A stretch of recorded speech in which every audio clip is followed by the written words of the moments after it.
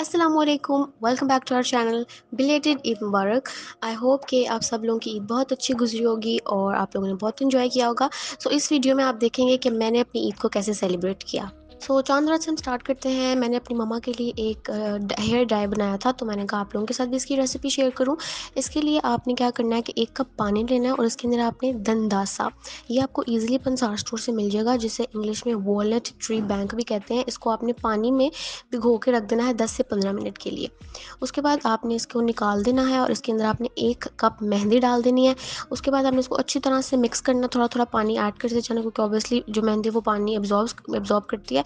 तो आपने उसको पानी डाल के मिक्स करना इसके बाद इसके अंदर जाएगा two T of coffee powder two T teaspoons of shikakai powder ये भी आपको पंसार की दुकान से इजीली मिल जाएगा।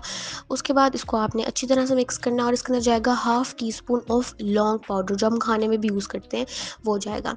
अच्छी तरह से इन सब चीज़ों को मिक्स करने के बाद लास्टली इसके अंदर जाएगा वाइटमिन ई ऑयल ठीक है? Around one teaspoon half से वन टी स्पून इसके अंदर वाइटमिन ई ऑयल जाएगा। एंड मिक्स मिक्स मिक्स अच्छी तरह से मिक्स करने के बाद आपने इस मेहंदी को तकरीबन चार से छः घंटे या ओवरनाइट आपने इसको छोड़ देना है और इसके बाद फिर आपने इसको अप्लाई कर देना है और सादे पानी से दो घंटे के बाद सादे पानी से इसको धो लेना तो ये आपके सामने रिज़ल्ट आ जाएगा। वो लोग जो डाई करा करा के अपने बाल ख़राब कर चुके हैं, वो उसको ज़रूर ट्राई कीजिए एक दफ़ा।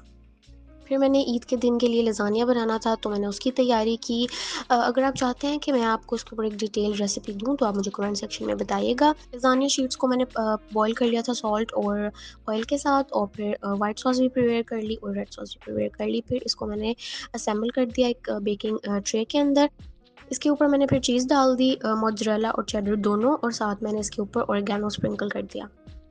इसके बाद मैंने ट्राइफल बनाया और उसको असेंबल किया। मैं इसकी रेसिपी आपको ऑलरेडी बता चुकी हूँ। अगर आपने नहीं देखी तो उसको ज़रूर जाके देखिएगा और आप भी ट्राई कीजिएगा। सारे कामों से फ़ारिग होने के बाद मैंने मेहंदी लगवाई अपने दोनों हाथों पर और ये है मेरी मेहंदी की कंप्लीट लुक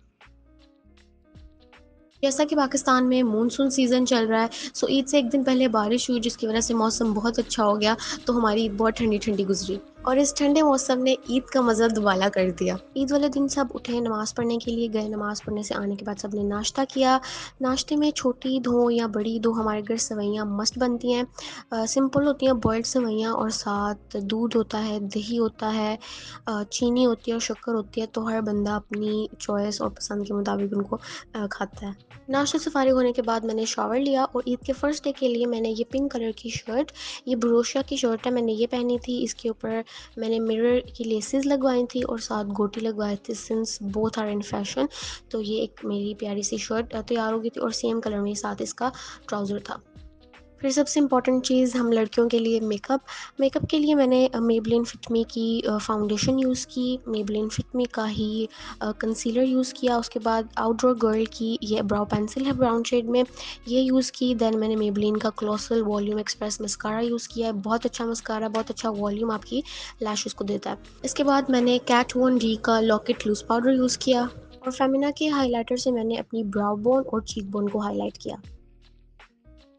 और फिर अपना D I Y lip tint इसको अपनी चीक्स पे और अपने लिप्स पे यूज़ किया। उसके बाद मैंने थोड़ा सा टिंट लगाने के बाद ये एन आई एक्स की सॉफ्ट मैट लिप क्रीम है, इसको मैंने इसके यूज़ किया तो दोनों का बड़ा एक अच्छा सा डिफरेंट सा शेड बन गया। के लिए मैंने मॉर्फी का ये पैलेट यूज़ किया। इसके अंदर जो ब्राउन थोड़ी सी ब्राउनिश और पीछे शेड है, इसको मैंने अपनी आइस के आउटर कॉर्नर पे यूज़ किया। उसको थोड़ी सी डेप्थ देने के लिए, उसके बाद मैंने आईलिट के लिए ये वाला कलर चूज़ किया। जो थोड़ा सा गोल्डन सा गोल्डन रोज़ गोल्ड टाइप है और उसके बाद मैंने अपनी आइज़ के इनर कॉर्नर के लिए ये वाली शेड यूज़ की। मेरी तो चूड़ियों के बगैर इनकम्प्लीट है, सो मैंने गोल्डन कलर की चूड़ियाँ इसके साथ पेयर अप की और ये गोल्डन कलर के स्टड्स जो मैं आपको ऑलरेडी अपनी वीडियो में दिखा चुकी हूँ, ये पहने थे मैंने इसके साथ। और ये रही मेरी फाइनल लुक इस ड्रेस के साथ मैंने अपनी स्किन और पिंक कलर के जो ब्लॉक हिल्स थे, उनको पेयर अप किया। तैयार होने के बाद मैंने लजानिया खाया और फिर सबने इकट्ठे बैठ के लंच किया। लंच में पुलाव था, कलेजी थी और जरदार था, सब चीज़ें बहुत मज़े की थी। तो सब फैमिली मेंबर्स ने बैठ के खाना खाया और बहुत इन्जॉय किया। इस तरह मेरा ईद का पहला दिन ख़त्म हुआ। सो ईद के दूसरे दिन उठ के सबसे पहले मैंने नाश्ता किया। नाश्ते में I had this fruit bun with milk shake उसके बाद नाश्ते से फारिग होने के बाद हमने कुर्बानी की, क्योंकि हमने फ़र्स्ट डे कुर्बानी नहीं की थी सेकेंड डे की थी, और ये हमारा कुर्बानी का जानवर था। अल्लाह ताला सबकी कुर्बानियों को कबूल करे, जिन जिन लोगों ने भी की।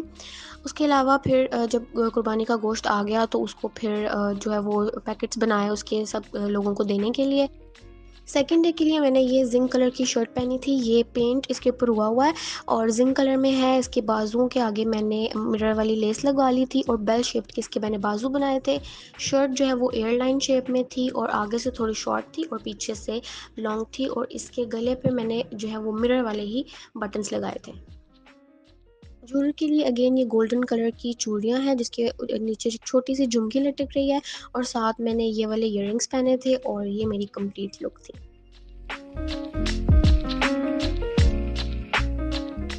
और यहाँ मैंने और मेरी मामा ने ट्विनिंग की थी मेहंदी की। लंच में हमने कीमे की टिक्कियाँ बनाई थी क्योंकि गोश्त तो इतना खाया नहीं जाता, इसलिए कबाब हो या कीमा, इस तरह की चीज़ें तो हर बंदा जो है वो शौक से खा लेता है। लंच वगैरह करने के बाद हम अपने रिलेटिव्स के घर गए क्योंकि फ़र्स्ट डे तो सब बिज़ी थे कुर्बानी में तो सेकेंड डे हम फारिग होकर उनके घर गए, वहाँ पर हमने बातें शातें की, खाना शाना खाया, बहुत मज़ा आया। रात को तो गोश्त खाने का कोई मूड नहीं था, इसलिए मैंने और मेरे भाई ने रात को पिज़्ज़ा ऑर्डर करके खाया बहुत मज़े का पिज़्ज़ा था। सो so, इस तरह मेरा ईद का व्लॉग एंड होता है। आई होप कि आप लोगों को ये व्लॉग अच्छा लगा होगा और उम्मीद है कि आप सबकी ईद भी बहुत अच्छी गुजरी होगी। अगर आपको ये पसंद आया तो don't forget to like comment share and subscribe इंशाल्लाह हम अगली वीडियो में मिलेंगे। अल्लाह हाफिज़।